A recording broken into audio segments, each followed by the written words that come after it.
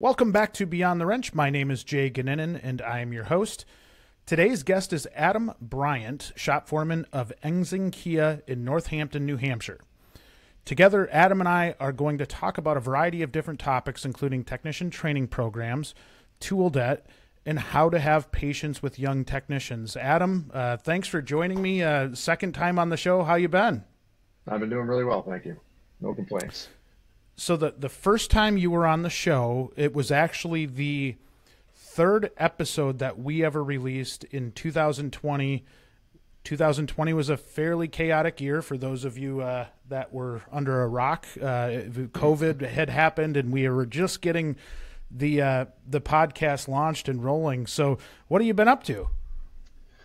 Oh, uh, well, going through that experience, um, you know, as a parent and as a uh, technician, so it was it was a crazy couple of years. Um, but yeah, other than that, it was uh, spent my time with um, Toyota, still working on retention and students and um, my own career, which has been great, and then obviously recently my newest transition. So it's been a busy couple of years, that's for sure. Yeah, that's uh, in in the intro. For those of you that listened to the first episode, three years ago, three plus years ago. Uh, you went from Toyota to Kia. How uh, how has that gone? Um, it's good. Uh, it's more of it was a, it was a uh, growth decision uh, overall. I've been with Toyota my entire career, and they have always it, has been a good manufacturer. I've had a great experience with them.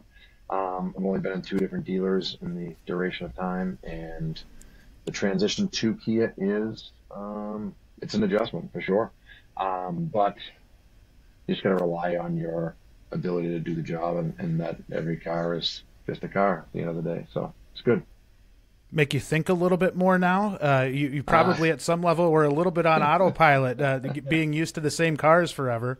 Correct. I would say for sure that is probably the biggest adjustment. Yeah, I would say that the autopilot was uh, could definitely come in on certain days, and uh, this is definitely not that. No, not at all. this is a very, very start to finish day that is very busy, but it's good. It kind of revitalizes my my um, my opinion of the industry and trying to get you know kind of push back into things, and it's good. I'm, I'm excited about it.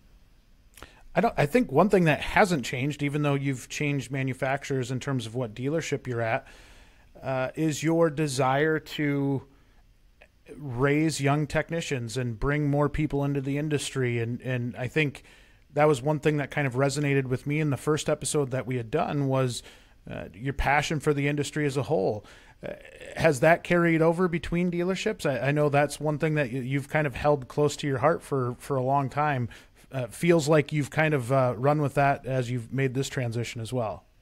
Yeah, yeah. I mean, it absolutely was something that I wasn't. If I was making the transition to another manufacturer, was something that I was not gonna um, walk away from at all. I have a, I have a very invested interest in a lot of the younger people. Um, again, back to our older podcast, I, I, was there. We were all there at one point in time, and I really don't. Uh, I don't think it's an easy industry to navigate. Uh, and I think that going through and, and meeting the right people and, and having the right conversation um, really bridges a lot of gaps for the younger students and the, the kids that are coming from a different manufacturer um, or that aren't sure if they want to do this for a career uh, or in, or go into post-secondary education. So there's, you know, be, be, between being a younger kid and trying to figure out if you want to go to college or if this is your career and a lot of other decisions in life that you're looking at doing, um, you need somebody there to help you point you in the right direction or at least give you some advice and see if it helps you. So it's been it's been very rewarding, um, and I do I do thoroughly enjoy it. Yeah, for sure. Do you think it's harder for young techs coming in today versus when we were growing up and coming into the industry, just in general? Um, Wow, good question. I would say no, not as hard. I don't think it is as hard. I think when we were coming into the industry, there was a lot less information. And information now has provided a gateway, whether it be through technical service bulletins, repair manuals online, electrical wiring diagrams, interactive electrical wiring diagrams, recall service campaigns. There's so much information that you're able to use as a guide for diagnostic. Uh, online modules certain things that you can go back and reference um, where the, those weren't there.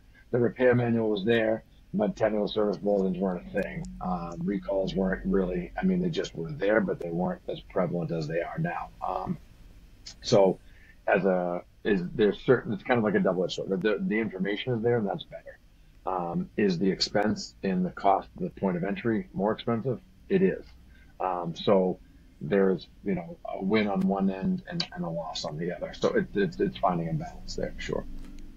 So it's been a while since I've been in a shop every day, but based on what I hear from techs, I think w- another piece of that that's changed has been maybe the acceptance from uh, more experienced techs that maybe we didn't see when we were coming in. Uh, you know, I think it was pretty common to say, you know, hey, I learned the hard way, you need to learn the hard mm-hmm. way. And I, I feel like it's changing a little bit, but you're in a shop every day. You tell me if I'm wrong it's changing because there are people like myself, like we discussed in the podcast back then, that there are, you know, there's that gap of a generational divide, right? Where there's a little bit of older people that were going out and younger people coming in. And there's this middle group that we're kind of, we got the experience from one end and we understand where the other one's coming from. And we're kind of filling that void. So I do think that there is a difference there. Are there still people out there that believe that? Yeah, there are. There are, and there's nothing we can do about that. But that those are the people that aren't looking to do anything besides worry about what they need to worry about. They're not looking to um, grow the shop, look for additional help. You know, that's just not their position. So finding the right person within the shop atmosphere is crucially important to those younger people. Uh, one thing I will give credit to shops for over the past few years is it at least feels like they're trying, right? And in a lot of cases, I think the perception amongst technicians is, you know, all shops are the same. They're going to treat me this way, and I, you know, I, I just don't love it. But we hear the other side of it too, and I think there are a lot of shops out there that are actively trying to change how happy their technicians are and maybe being more intentional about it than they had in the past. Oh, I agree, hundred percent. Yeah, there's definitely some some significant improvement in that. Um, that they are more aware of the educational expense, the tool expense, the overall point, the, the point of entry for these people to come in and get a job uh, is very it's it's it's it's expensive, and it has to change, right? I mean, we've talked about the you know the the um, employment rate, people paying a certain amount for you know um, employees, whether it be minimum wage or not, and how that's developed over just the last three years. And Drew and I had a conversation. Um, yeah. Those kinds of career paths, putting those in place, and then focusing on how you can get them there. And yeah, I think there's definitely more involvement on the dealer and some independent shops as well. They do know that it is expensive and they don't necessarily, you know, you don't ask a lot of people to come to work with 20 grand in their pocket to go get a job. So, stuff. Yeah, I think just being empathetic of what the position is is is really really big if you're mm-hmm. that young technician coming in. Um, and I also just kind of feel like it was forced growth, right? This technician shortage is tough on a lot of us in the industry but at some level it kind of had to happen for things to change. If it just would have been an abundance of techs all around forever you probably wouldn't see some of this growth that we've seen in shops. And so it it, it uh, i think was forced a little bit on most shops to adapt and and make it you know make their offering a little bit different than it had been in the past. But uh, you know from my my viewpoint and what i've seen over the years is that you know the technician shortage stinks but it also probably forced some really good things to come through in these shops. True. Yeah, I agree 100% on that. As there, there is a lot of, um, there was a benefit to it, and it's it's still it's still there, but it's yeah, there's just more involvement that's needed to um, fill those voids. So walk me through this new role that you've got at Enxing Kia. Uh, you, mm-hmm. You've stepped into a foreman type of role. Yep. Uh, what what does that mean, and and uh, how is that kind of playing in your mind as far as your career progression and, and seeing what you know that next opportunity was going to be for you? Uh, yeah, I think it more it was more. So there's a there's a couple of different gaps within the industry, and one of the gaps in the industry is as people work through the technician thing, they may decide at some point in their career that that's not what they want to do long term, or they may have reached a point in their career where they just are looking for a change. And those changes could be within the parts department, within the service department, whether it's service managing, service advising, sales, whatever. There's other facets to reduce the amount of uh, attrition within a dealership or within a company. And I believe that even back when we were when we were talking on that previous podcast, that cross training, giving people the other options to learn other things, whether it be finance or go in and explore, you know, service and explore parts. Those are things that people, you know, get a chance to just I guess, really transition within your company and stay within your company, but go do something in a different capacity. So I had done the technical side, and again, had reached that pinnacle with Toyota for you know a long time, and it and it was still challenging. There was a lot of things there, and I, and I changed in that process to doing more dealer product reporting and more involved with the manufacturer, and then I was also taking on more of the young kids. That was just my own opportunity to grow as a person, as a technician, to try to, um, yeah, to try to grow. And this position moving over to Enxing Kia now is a foreman position. And before I had been in a team leader position, which was controlling shop flow, dispatching of work from an average of two technicians to eight technicians, depending on the size of the teams that we had. This this shop is small too. I would say right now we've only got seven or eight technicians. We have the base to go to 12 technicians and we're looking to progressively grow that business and um, looking at new buildings and features down the road. So there's just an opportunity for me to do some more front of the house work, which it would be some of the repair order stuff and some more interactions with the day to day flow of the shop, scheduling of the shop, making sure the work gets done in that process. And it brought it back to a smaller group size. So I'm definitely making very large impacts very quickly. So very happy with it. I'm guessing that's meaningful, right? When when you're doing stuff to see that there there is an impact and there is a direct reflection of the work that you're putting in. Yeah, and I, and I think that like those impacts that I found with a with a bigger dealer group were coming from my involvement with the students, and I would see that they would pass their ASEs or they would have their wins, and we would have wins together, and we would, you know, there's those week to week things. But this is definitely a significant change. Um, the dealer, you know, buying, going in at an entry level where the dealer was just purchased within the last couple of months and going in and trying to start from the bottom and work its way up is, is it's definitely some work. It's some work for sure. But I think the rewards, you could see them very quickly, which is good. It is a good feeling. How hard was it to leave behind the work and the, the people that you had put you know, kind of in training and raise them up to be good technicians and, and kind of walking away, right? Like it, it's hard yeah. to leave any job, I feel like, for the most part, because of the relationships you build. But when you are personally vested in, in growing those people, that's got to be a tough decision. And that's the thing. I think everybody in the automotive industry, and I watch this and swipe the brush that big. I think there's a lot of people in the industry that actually um, stay and stay for those reasons. And they are, you're right, I am invested in those students, but I still text those students. We still talk. I still check when they do their ASEs, if they're passing them or not. They still call because they're looking for advice. I'm still somebody who is very impressionable in what they did. And I take that, I, I can hang my hat on that for sure. And I actually really enjoy the fact that we still catch up outside of that aspect. To, again, I'm here to help you I, when I when I got on board, I decided it was going to be a long term thing. It wasn't going to be just for a couple of months, you know. So I'm glad that they reach out and they have those questions and concerns. I did a product for a really long time. The knowledge didn't just walk away the day that I went with me. You know what I mean? So I do feel like there's a responsibility on my end to see those things through as well. Um, am I taking on new people in those environments? No, but the people that I had there, um, I definitely are continuing those relationships to make sure that they get to where we both mutually expected them to get to. And there's an accountability portion there, so it's good. Um, and I'm doing it newly now. I get some other younger technicians in this new atmosphere, and I find it to be we, we relate right away, and, and um, we're going to make some good changes for those guys and girls as well. So it's good.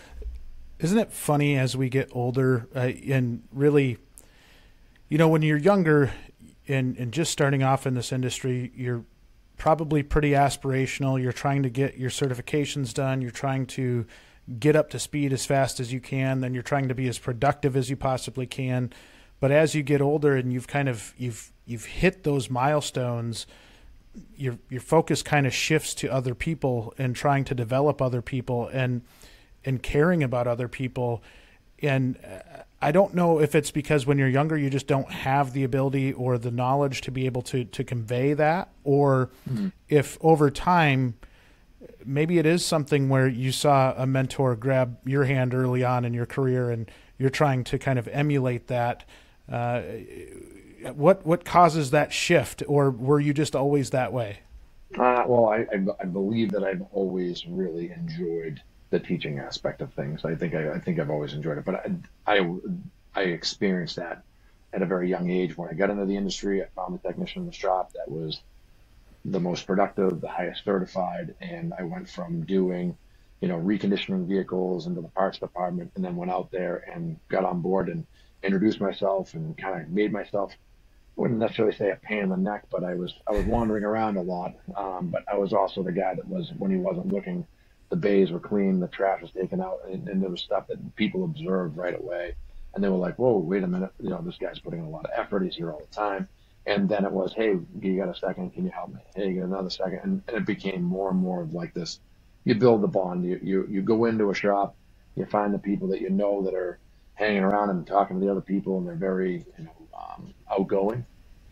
And uh, yeah, you just you just try to build that relationship, and it's and it's that aspect is a little harder today than it was back then. Um, back then, there was a little bit more personable conversation, and today there's a little bit less of that, you know, with with uh, electronics. But it's still it's still a really it's a big skill to have. It's something you have to learn and develop because it helps you with your customers, helps you be a better employee, it helps you be a better coworker.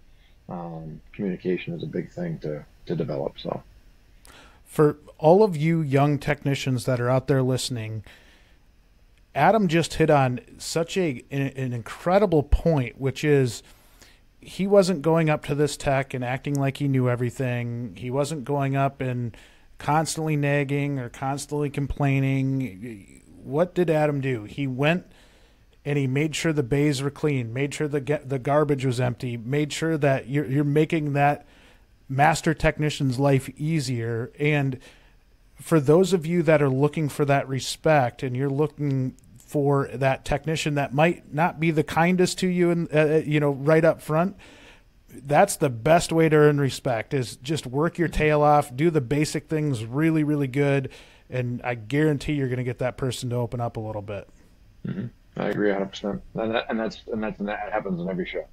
In all the shops that I've been in, and I, even this last one before coming here, I had some technicians that came on board, and yeah, most people wouldn't have wouldn't have given them a second look, but I, you know, they definitely, when you look over and they're they're cleaning tire areas and they're putting stuff away and they're they're just taking their time that they're being paid for and using it wisely, and it makes the shop more efficient. Guys like myself look around and go, okay, the tire's out of my way, the balance is cleaned up the alignment rack looks good. The stuff that I can get onto when I need to and just keep doing my job. Um, it does say something a lot. It says an actually a tremendous amount about the person. Um, so I definitely agree with that advice. Um, and there are um, there are those guys out there in every one of these dealerships. I guarantee it and don't just go out to look busy, right?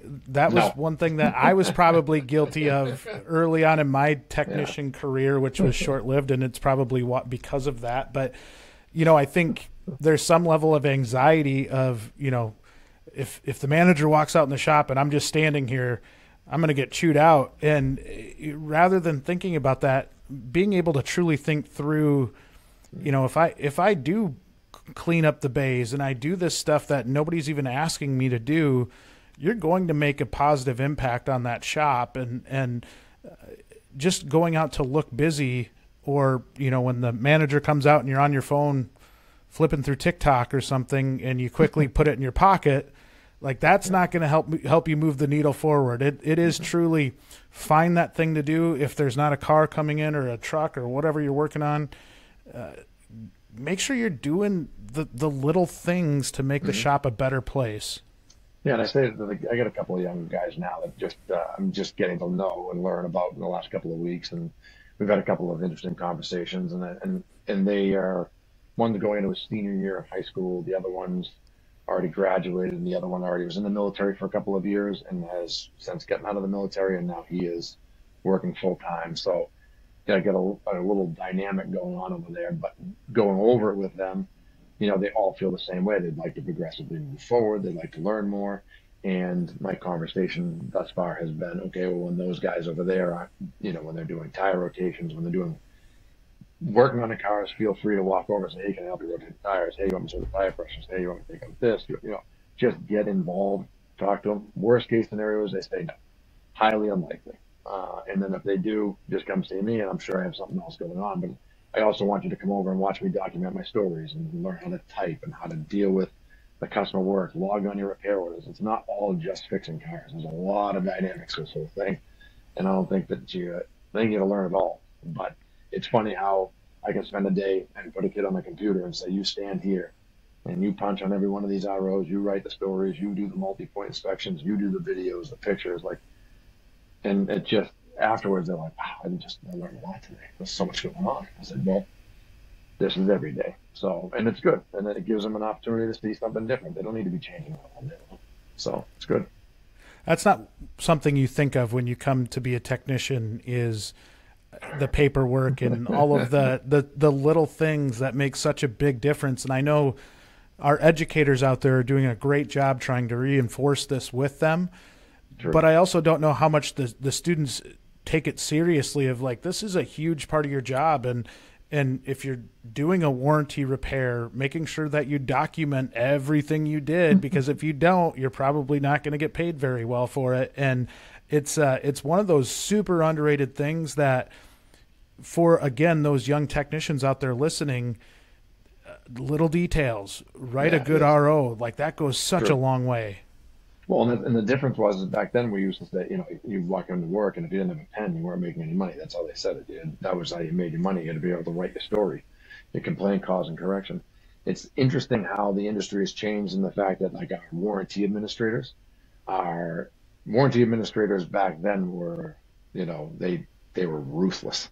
Um, they were ruthless they used to leave the RO on your desk. They'd come out, they'd stand there and wait for you. They'd make you spill out your complaint, cause, and correction. You actually have it documented by hand.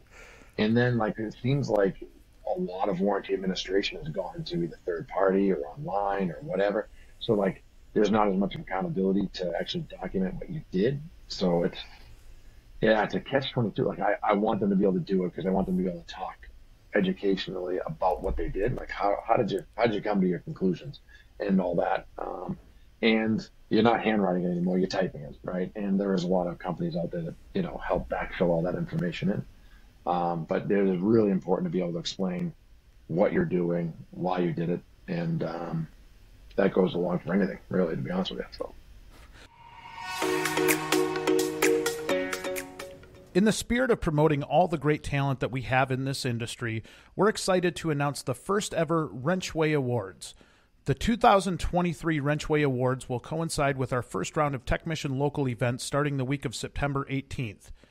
In select cities, we are awarding Automotive Technician of the Year, Diesel Heavy Equipment Technician of the Year, Medium to Large Shop of the Year, Small Shop of the Year, Outstanding Owner Award, Inspiring Service Manager Award, Rookie of the Year Award, Exceptional Educator Award, Best Mentor Award, and Standout Service Advisor Award. Nominations are now open through September 2nd, so submit your nominations soon. Link is in the show notes. I want to talk about patience, and I'm, I'm, i want to talk about it from two different standpoints. First, from the technician side, then from the shop side when they're bringing on a young technician. So much of a young technician and their ability to be successful, I think, comes down to their ability to be patient in those early years. I, I know for me, and I know for a lot of my friends in the industry, you want to immediately go out and start diagnosing things and start doing big repairs. And in many cases, you're just not ready for it. How do you coach a young person to, to maybe be patient in their training, learn to do it the right way, learn to do all these little things really, really good while also knowing, hey, you're going to work your way up. You're going to get better at this stuff.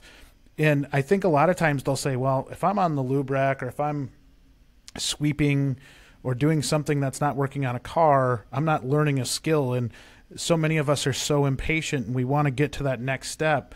Uh, how do you how do you kind of teach that patience? Is it something that you can coach them on, or uh, I, I, I honestly I know this is a very loaded question, but it seems like it's one of those things that young techs really really struggle with. Well, I, again, it goes back to after 25 years of doing this, I still change oil, um, and it's never going to change. It's never going to go away.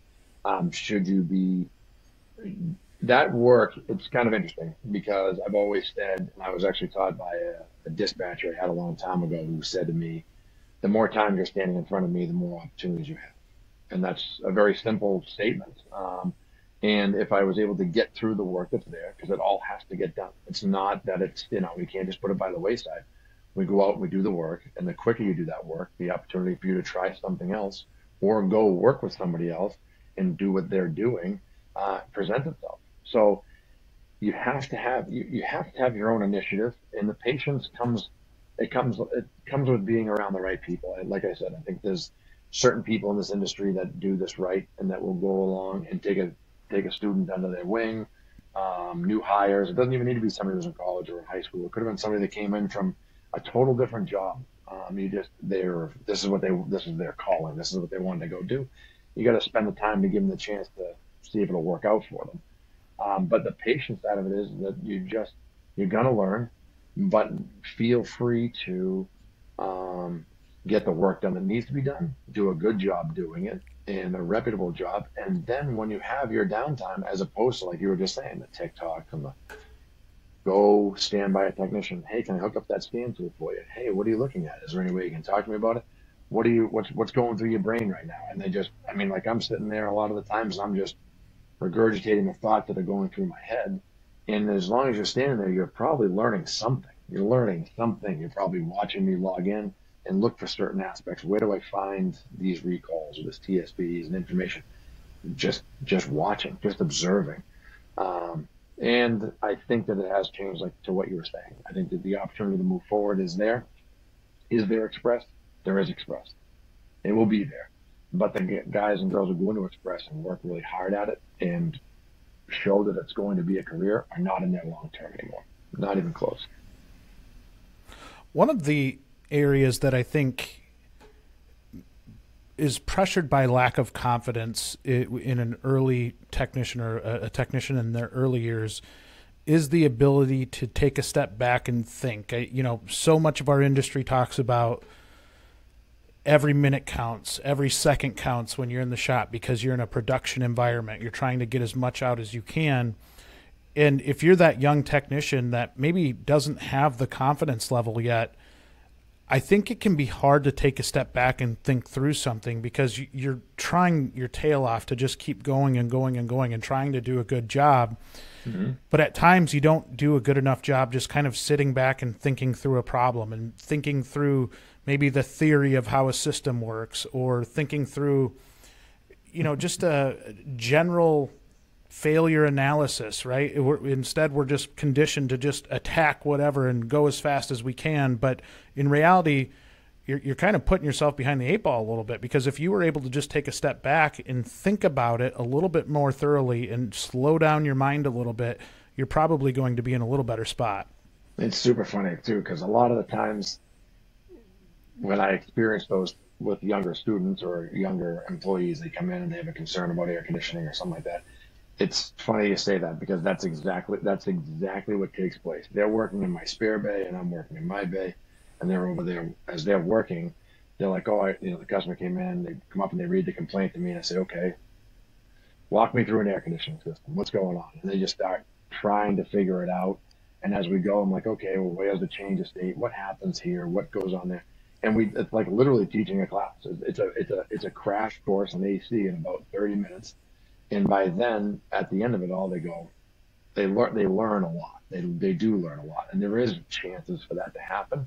You just have to find it's not even really a responsibility of you to find that it's the right person.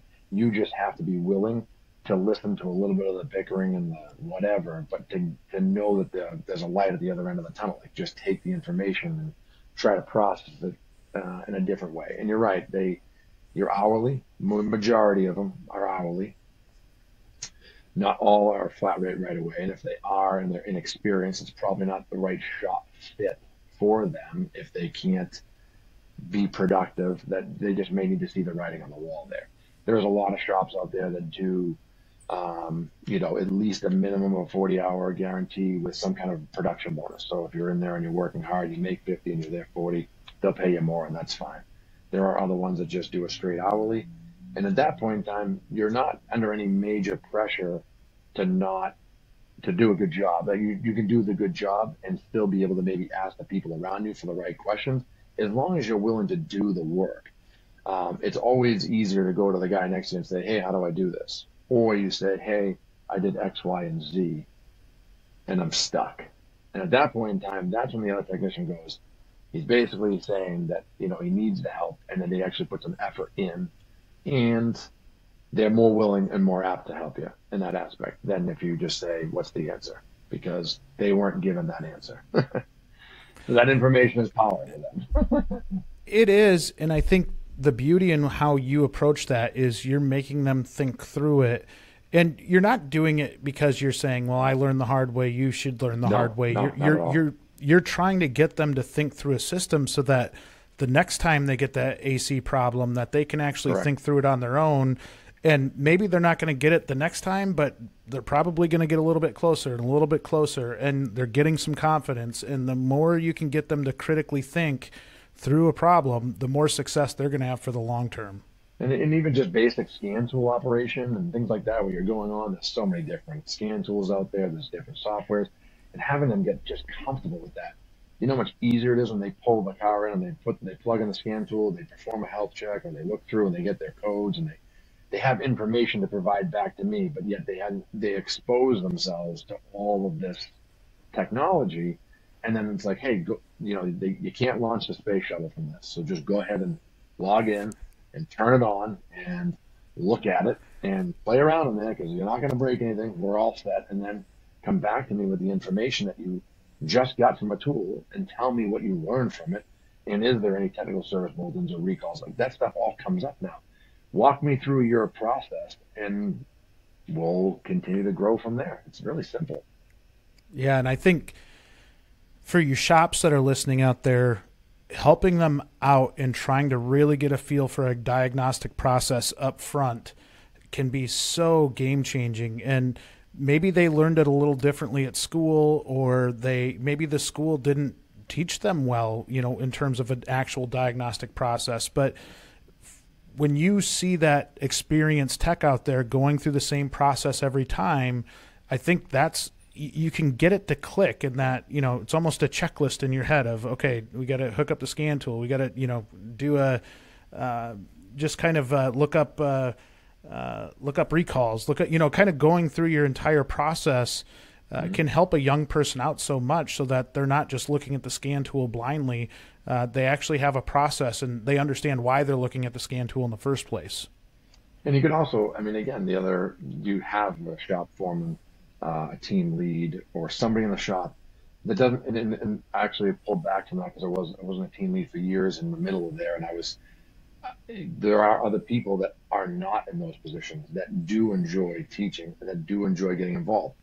Find as a service manager or service director find those people and then say to those people you know something? I'm going to pay you an hour. I'm going to pay you two hours at the end of the day.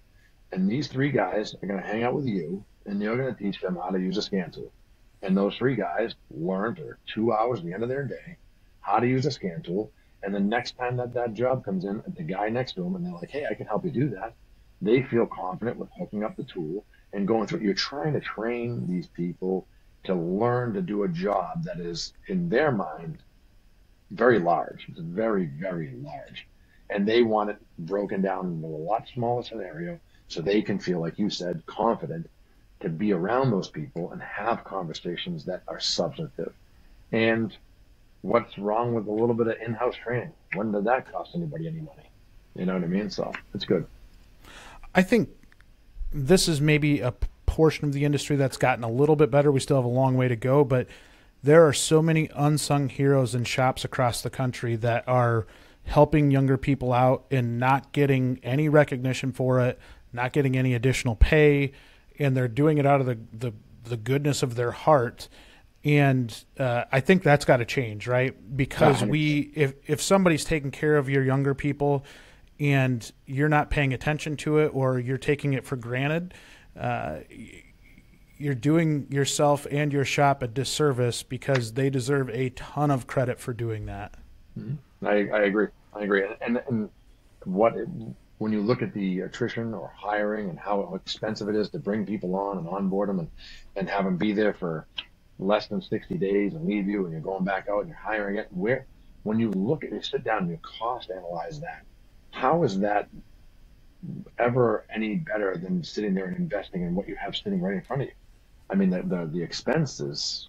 I mean, and, and the other thing too, I know it sounds kind of crazy, but like those relationships that you and I discussed before, there is a lot of trade schools and a lot of high schools and a lot of places in those areas right there that would do things with you and, and for advisory meetings and you could get, have access to their shops. You could bring those guys over there. You could, there's just so the possibilities are literally limitless if you want to put in the effort. But that any effort, in, any really.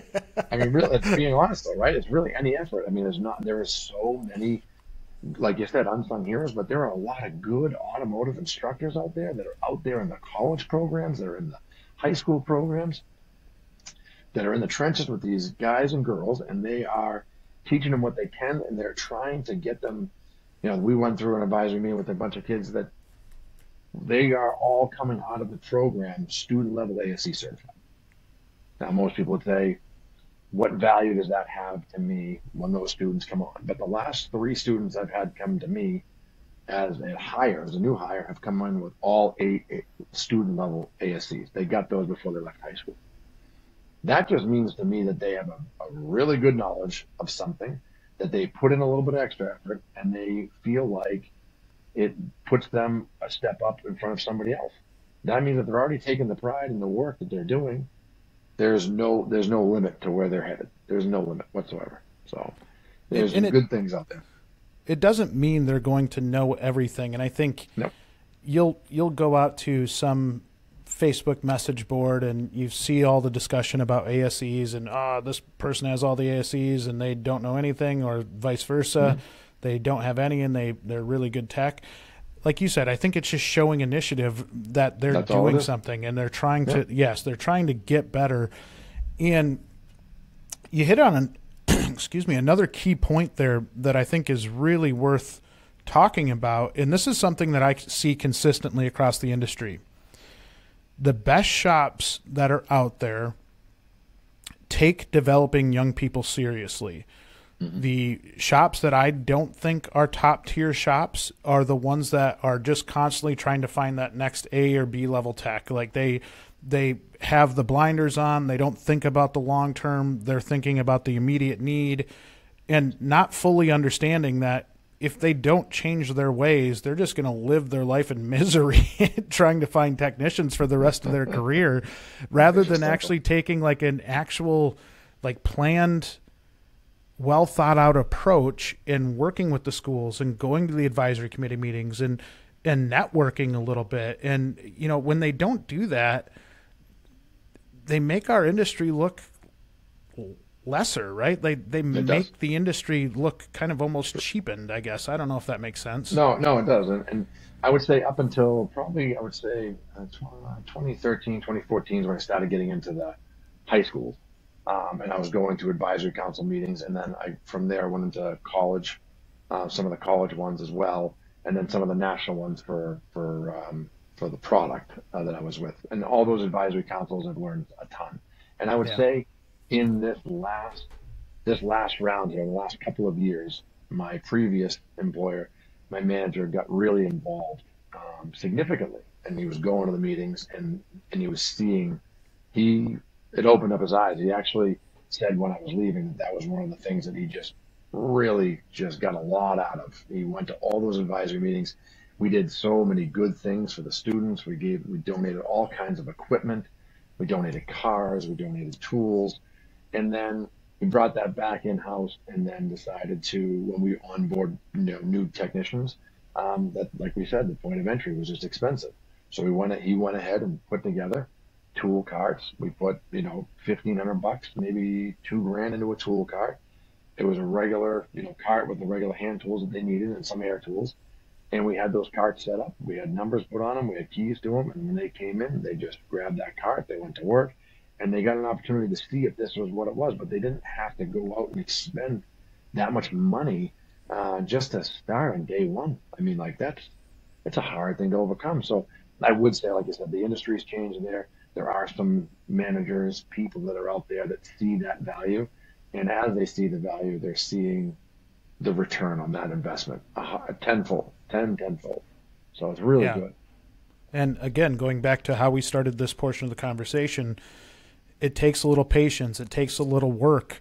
But if you do it the right way, you're going to have a much cleaner system, a much more professional system, and a much more consistent system at producing good technicians if you actually take this part seriously and you do get involved with schools and you are, you know, actually having some training for uh, for the students and, and the entry level technicians. Want to win cash while helping the industry? Check out our game on WrenchWay Shop Talk called The Loneliest Number. Each week, we post quick poll questions about industry topics. Technicians who answer the questions will earn points to play the loneliest number game for a chance to win our $1,000 monthly prize. $500 will go to the lucky winner, and the other $500 will go to a local high school program of the winner's choice. Start playing now at wrenchway.com slash shop talk. Link is in the show notes. Now, I want to go to the other side of the patient spectrum here.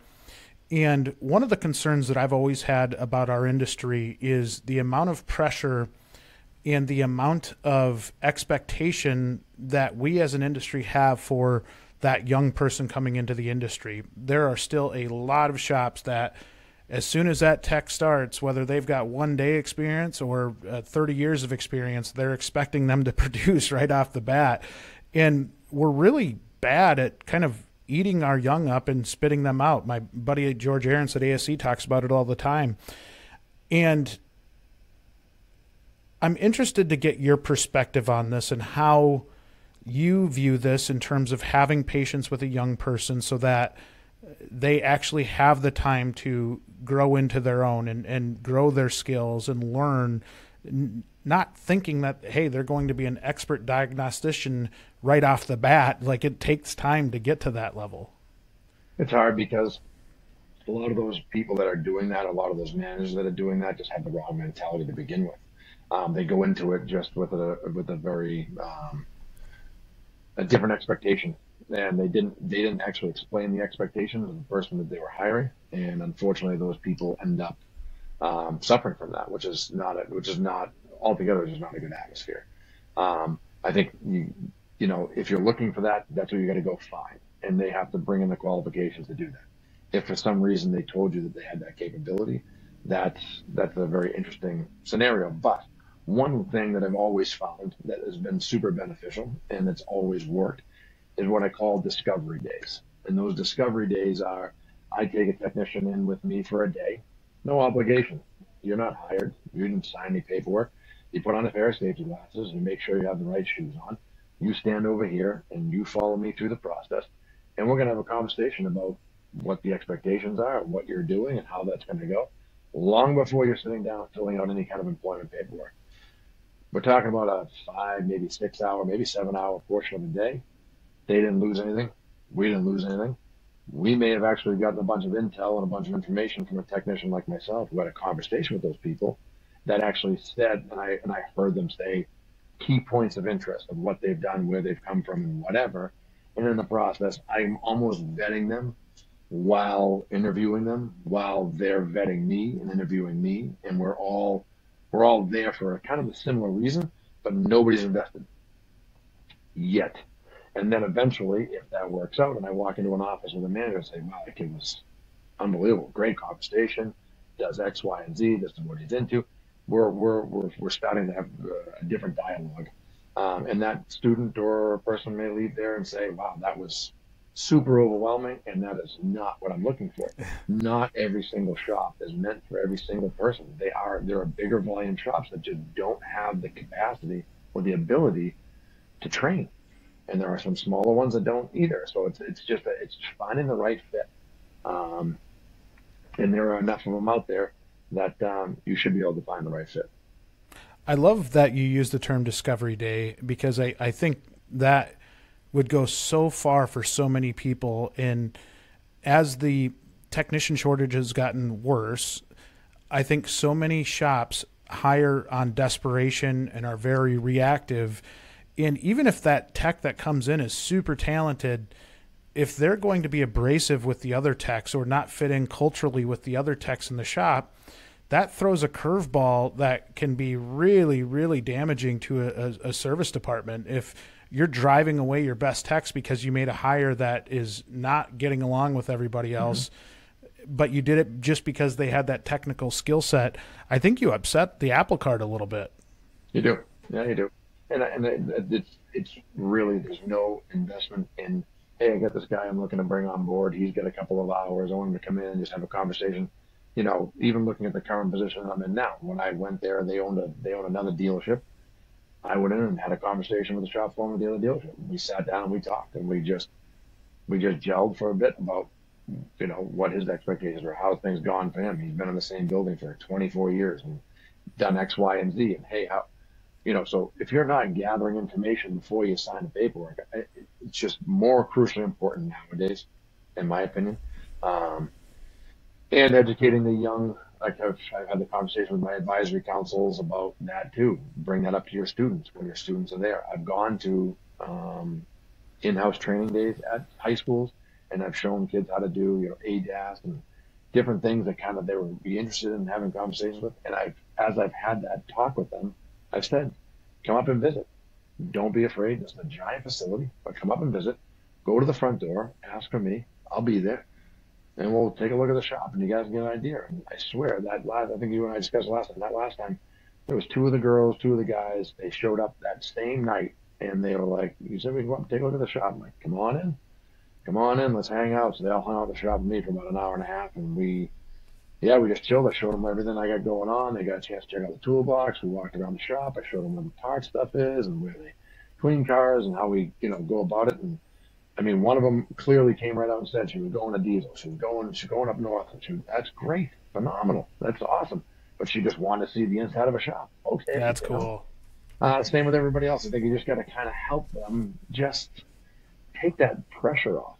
Uh, there's no reason to have that kind of pressure on there anymore. This industry isn't yeah, it's just it's different. It's different, and in my opinion, it is. Is there a lot of still old world uh, industry? Yes, there is. There is, and there's not much we can do. We can only just try to change what we can change, control what we can control, right? So, key point you hit on there that I think is really important is that you were a friendly face in a big dealership that if you're not there, the chances that those young people come in the doors to go even check it out are zero, right? right. It's some of these dealerships are just gigantic and they're very hard to navigate, very intimidating. and if you're 19, 20 years old or, or, younger, if you're 17, 16 years old, and you don't have that friendly face saying, Hey, I'll meet you at the front door, it, it can be a really intimidating experience. And that friendly face comes from those advisory councils. It comes from yes. those advisory councils and it comes from going back there, you know, starting September 1, school opens. Guess where I'm headed? I'm headed into the schools. And I'm going to go hit two or three of them and we're going to hang out. And I'm going to go to their advisory councils at what time? At night, on my time, when I have the chance to go see those people. And while I'm in there, I'm talking to other people that are from the industry that are all there with the same invested interest and then what we do is we schedule out our time from there till December, and we all each go in, and I take a day, and I go in and talk to the class about what I do, how I do it. I'm very transparent. Ask me whatever. What do I? What? What difference does it make? You tell me what you're looking for for questions, and I'll answer them. And then let's go in the shop and let's learn some stuff. You guys are out there doing some live work. Some of the schools I have do live work all day. let's go fix a car together. Let's go talk. Let's go hang out. So those things are really, really important, especially for managers and things like that, to go there, take a technician, learn what they've got going on. There is such a need. I have programs currently here that have 60 plus technicians enrolled in them. 60 plus technicians. Are they all going to post secondary? No. Do I need 60? No. But I there's an opportunity there, I would find, and it has paid dividends because these kids have just naturally moved up and, and done what they needed to do. So it's important, really, really important. Well, and if you you're not swaying all 60 but say if just based on a conversation with you you sway one two three people to go okay, into this yeah. industry that oh, yeah. makes a huge difference it does and, and i mean and i'm there to i'm there to provide information to them like you said as a comfort level right i'm trying to bridge the gap are there guys and girls that ask me about you know going for power sports yeah we got a power sports program I don't know anything about it. I'll help you get there. I know the guy who runs it. All you know, like there is people that are there's other avenues that these kids want to travel. Are they gonna go for Toyota? No, they want to go for Volvo or, or Kia or Chevy. I they just want to ask somebody who's in the industry how it works. And uh, it's really tough not to just sit there and answer their questions. You know what I mean? Like it's, it's pretty crazy. You know what I mean? I bring in a bunch of free hats or tools and let them all have fun. It's like, and they, they really just, they enjoy it. They enjoy it a lot.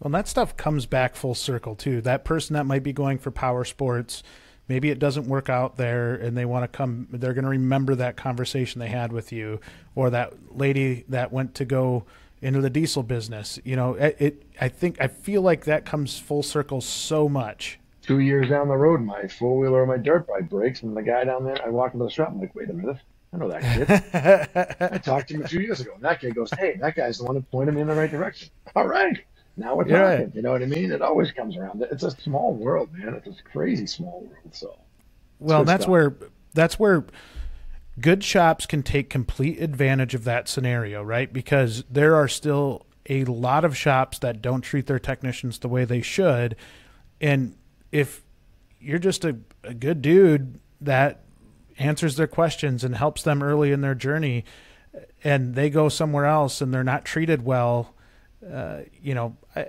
have to imagine they're probably reaching back out with a phone call. Hey, do you, oh, yeah. do you have anything open over there?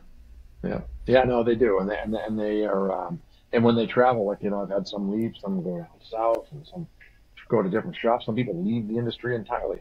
But I've also had a lot of I've had a lot of wins. I've had a lot of these guys and girls come back in and just hang out on their day off, doing whatever job they're doing, whether it's you know carpentry or whatever they decide to go do, and they come in and they basically say their conversation or their year or their time with me was X, Y, and Z, and this is what they they just learned so much, and they just and I've had plenty of them come back and say thank you, which is literally the, probably one of the driving reasons why I continue to do it because it really just that one thank you. You're like, you know, some that person is right. married, they have kids, and they have a life ahead of them, and they're doing what they wanted to do. And maybe me telling them that this was the right decision or not or is, was what changed that for them. Whatever, you know, like that's not an easy world. So setting them up for success as they move forward in this industry, uh, one thing I like to talk about is kind of awareness of tool debt. And when some of these young people come out, there are there's some pressures from the tool manufacturers, who whoever it might be, you know, that big 50% discount that they get when they're in school. We all had it when we were in tech school uh, to buy all the tools, but oftentimes you see somebody buy a bunch of tools and figure out afterwards that it's not the right industry for them or they're buying the wrong tools. Uh, I look back to my own experience growing up in a shop. I think I was about 14 years old and bought like an $85 set of uh, Mac screwdrivers, which was pointless at that point, right? Like I just get the Craftsman, nice get, get, yeah, yeah, still have them, still have yeah, them, exactly. but probably exactly. wasn't the greatest time to buy them. no, and, and that and, and, and, that can be difficult too to navigate the you know the, the overall cost and what you're trying to where you should start. Like where is where is the, the best point of entry in that? And you're right there is there is a lot of different options now than there were before. And the 50% off that those students are getting in college programs is actually what cost was back when we were there. So we were getting 50% off of that. They've doubled, they've tripled. It's so expensive. I literally went to look for a socket set the other day. I said, you know something? I'm look at this impact set that was in the catalog, and I said, is that that's that can't be correct. That can't be correct. and I walked out to the tool guy and I said, is this a, is that serious? And he's like, yeah. I'm like, wow, what is that? Like, that's crazy. Uh, that you can't a kid, a kid one socket sets. Yeah, just too much. So my advice to them too is that you end up finding preferences along the way, and whether you're if you can find a dealer that is willing to do some kind of incentive program, whether they already do have the toolkits like my previous employer, they've got them set up, they're there, they're giving you the option to come in. Those guys and girls that have been working on those tool sets for maybe four or five months have now decided to start to get their own stuff because they feel like they want to this is this is the direction they're going in. And now those sets become readily available and then you get that opportunity. If not, you know, go with the, the basic guidance of the people that you're you know you're employed with what what is essential what isn't essential.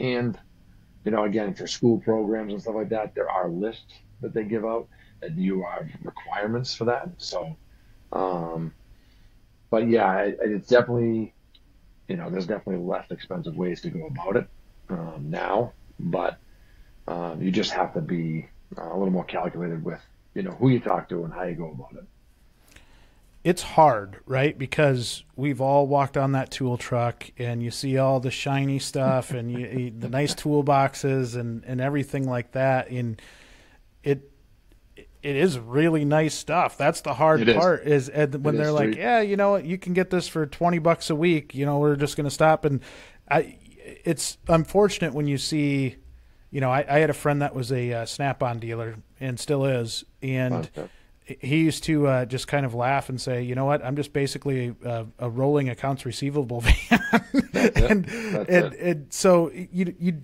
just want to bring awareness to those young people to not put themselves in a bad position when they do eventually get married and have a family and and want to grow in their career. Uh, they they can do it smart. They don't need all top line stuff right off the bat. They they can get by with maybe some lesser level stuff and you know, I I just uh, I use my my own experience as a reasoning for talking about it because mm. you know it if you got to make sure you're actually going to like this and that it's going to be a career for you before you start investing in those tools. One of the best things you can do, and if you can find it, and I, if you're in high school, you're in college, or wherever, just take one financial course. Just take one yes. financial course to go online and take one financial course, it's what what's the credits? Three or four hundred bucks. Pick a college. I don't really care where it is, but take one entry level financial course, and from there, you will be making decisions for the rest of your life that are going to benefit you. It's going to pay you dividends. The issue is a lot of guys and girls get into this industry and they don't. They do exactly that. They get on the trucks, like, oh, okay, I can run this up, run that up, and then there's expenses. You got to understand that there's, you know, yeah, there's there's a better way to approach it, and there isn't a lot of people that will tell you that, um, and that's unfortunate. But a lot of the, you know, guys and girls out there that I've had come through have bought secondhand toolboxes. Look at, you know, secondhand this. Go online. Someone's some of the guys are always phasing out of the industry. What do they got going on? Yep get where you Garage need to get by. Yeah, get where you need to get by. Go and get the stuff you need to just do the job. It doesn't matter what it says on the handle. It does the same function. It's actually the person holding it, whether they know how to use it or not, is the question. But really, it's a um, those financial woes are something that this industry puts people in, which puts a lot of pressure on them. And then when the pressure's on them, that's when the attitude and the patience fall completely by the wayside. And why do you think some of these young tech uh, young techs skip around between shops? They, they need dollar a raise to cover. They yeah, they, they need a dollar. They, yeah. they need to cover their tool bill. They need to cover you know maybe a car payment, whatever. But if you can do, and I've seen more and more shops do this, and I think it's brilliant, which is offering financial education courses to their staffs. And whether it's a, a Dave Ramsey deal or having your financial advisor come in and, and teach a course, you know, a couple times a year. Just being able to put yourself in the shoes of that young person and really trying to set them up for long-term success, I think is really, really key to their happiness moving forward. Yeah, I mean, if they're financially, if they're financially secure, or learning how to become financially secure. And they actually go in there every day and do the job, and they're just not under that. You, you, you get somebody who has a great attitude, who's willing to pass that stuff on to the next person who wants to work with them. And then they're just not under that same pressure. They're making good financial decisions, and they're going to be very successful in that position, and in that role. But when you let them try to figure it out on their own, um, that literally, like you said, patience comes with having a better understanding of what's going on around you, right? That's really what where it drives from. And if you don't have that better understanding, your patience level generally is not there. Um, it's very very hard to deal with. So, well, this is great advice, and I feel like we have so much more to cover. I, I hope you'll join us again. Hopefully, it won't be three years the next time that we get you back on. But no, I um, one of them. I think we, I think actually we did. Uh, did we end up doing that roundtable too? Did we do yes. a roundtable somewhere in the middle yes. of that too with a couple of the guys? That was pretty interesting too. Yeah, good group. We'll get you back on a roundtable for sure. This was such yeah. a such a great conversation, and I, I think such a great podcast for that young technician that's out there to listen to because Adam had so much good advice over the course of this episode and things that he's gone through and things that he's he's seen other techs go through and mm-hmm. I, I, think I, I really really hope young techs listen to this episode because it was outstanding and what you're doing out there and and being involved with schools and actually caring about our younger people in the industry is setting an example for what everybody else should do. So bravo to you and everything that you're doing. And, you know, from on behalf of WrenchWay, wish you nothing but the best of luck in this new gig at uh, at Kia. Uh, you're, you're just doing some amazing things, and, and we can't wait to, to talk to you again. Yeah, absolutely. No, I appreciate the time, and uh, yeah, I look forward to it. It's uh, it's it's going to be a good uh, it's going to be a good challenge. So we'll see keep it posted. yes, we will. We'll we'll uh, we'll we'll stay on top uh, of everything that you're doing. But thank you so much for coming on, Adam. We appreciate it. Absolutely. Thank you, Jay. That wraps up this week's episode of Beyond the Wrench. Be sure to tune in next week for another brand new episode. As a reminder, don't forget to rate and follow Beyond the Wrench on Apple, Google, Spotify, or wherever you listen to your podcasts. This helps us get Beyond the Wrench in front of other fantastic shop owners managers, technicians, and dealers just like you so we can continue to help improve, promote, and grow this amazing industry. Thanks everyone for listening, and we'll be back next week.